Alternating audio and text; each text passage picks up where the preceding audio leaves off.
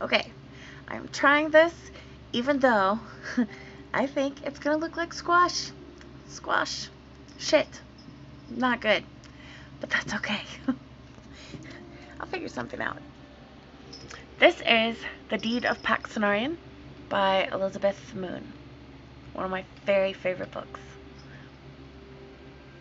And a sheep farmer's low stone house, high in the hills above three firs. Two swords hang now above the mantelpiece. One is very old and slightly bent, a sword more iron than steel, dark as a pot, forged, so the tale runs, by a smith in rocky ford. Yet it is a sword, for all that, and belonged to Canice once, and tasted orc's blood and robber's blood in its time.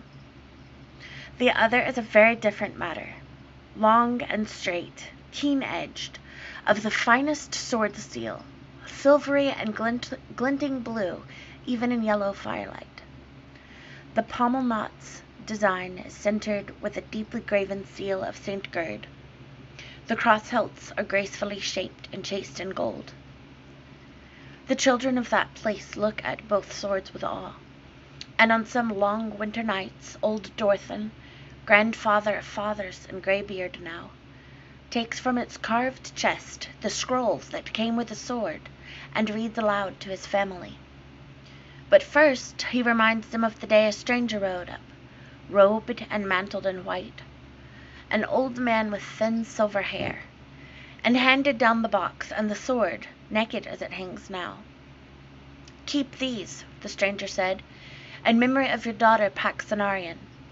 She wishes you to have them and has no need of them. And though he accepted water from their well, he would say no more of Paksenarrion, whether she lived or lay buried far away, whether she would return or no.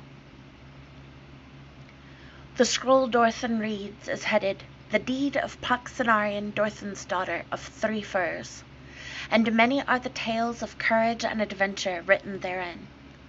Time and again the family is thrilled to the description of Paksenarrion in battle, the littlest ones pressing close around Dorthan's knees and watching her sword on the wall. They are sure it glows slightly when those tales are read. And always they ask, the little ones who never knew her, what she was like, just like that in the scroll, always so tall, so brave. And Dorthan remembers her face the night she left, and is silent. One brother thinks of the long-legged girl running down errant sheep. The youngest remembers being carried on her shoulders and the smell of her hair. Besides this, legend is all they have. She's dead, say some. She must be, or she wouldn't have sent her sword.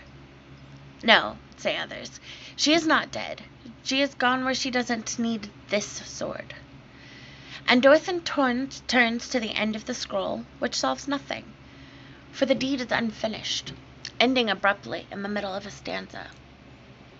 And one of those children, the little ones, has climbed from stool to table, and from table to mantelpiece, and touched with a daring hand the hilt of each sword, and then climbed down to dream of songs and battle.